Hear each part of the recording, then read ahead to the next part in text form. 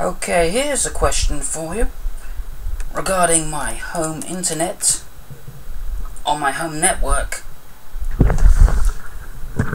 Now, I've noticed just recently that transferring files to this computer here is incredibly slow and only when I'm transferring files to or from this computer. So I just went and did a broadband speed test.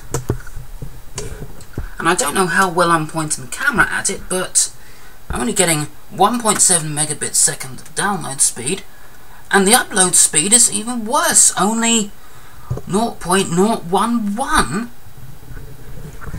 yet on my laptop computer which is also connected via a wireless connection you can see the numbers are much better there 23.88 megabit second download, 2.33 megabit second upload, and on my main computer, which is using the wired connection,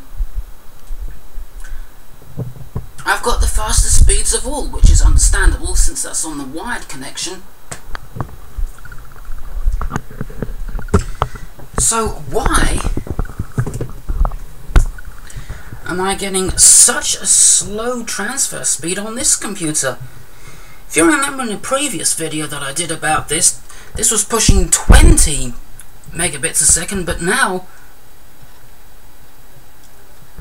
it's dropped all the way down to 1.17 and I've no idea why. I haven't changed anything.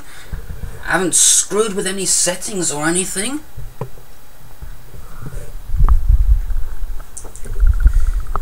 So I really don't know why it's doing that. So if anybody can shed any light on it and tell me what's actually going on with that so I can fix that so I can get the files to transfer fast again and I really should take bigger breaths before I speak, then yeah, please drop me a comment and I'll see if I can do anything about it.